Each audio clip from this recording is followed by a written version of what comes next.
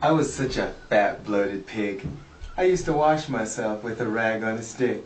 But then I joined WeightWatchers.com online. And can you believe it? In five short months, I lost 118 pounds. You think I'm bullshitting?